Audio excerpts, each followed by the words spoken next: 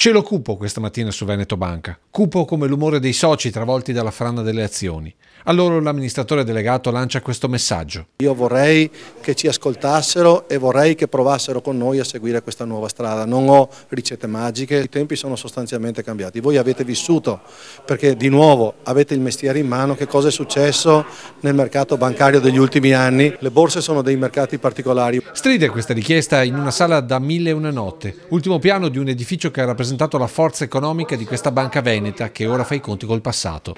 Troppi prestiti leggeri, i famosi mutui esagerati al 120%. Troppe le sofferenze inesigibili che una crisi nazionale ed europea ha portato non solo a Montebelluna, ma in Romania e nelle altre affiliate, nate sull'onda della delocalizzazione trevigiana. Accanto a questo però una macchina per certi aspetti faraonica, con le 150 auto blu di un parco macchine aziendale che qualche dipendente ha paragonato a quello della Fiat. Ora è il momento dei tagli per tutti, dirigenti, dipendenti e azionisti, con una speranza. Il mio obiettivo è di minimizzare, se non di azzerare qualsiasi tensione sociale. Tensioni che Carrus sa già difficili da contenere il 5 dicembre, quando verrà approvato il passaggio in borsa, come lo sa il presidente Favotto, pronto però ad affrontare i soci. I soci sono protagonisti e parte integrante e tutto quello che stiamo facendo è proprio per minimizzare il rischio di perdite e quindi di massimizzare quanto riusciamo a ottenere alla fine di un percorso così complesso che impone il passaggio della banca da una logica di cooperativa ad una logica di mercato.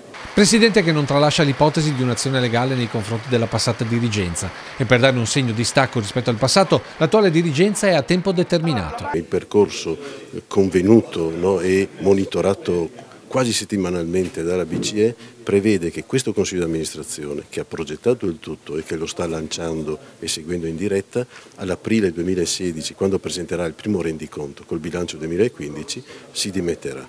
Infine tra i tagli anche quello alla sponsorizzazione delle Juventus che forse piacerà meno ai tifosi del calcio. Noi siamo eh, amici eh, di, di tutti quelli che ci hanno voluto bene e che ci sono stati assieme. Al momento noi non possiamo prevedere questo tipo di spese però garantisco che se ci dovessero essere dei miracoli e nulla si può dire, si può ripensare a tutto.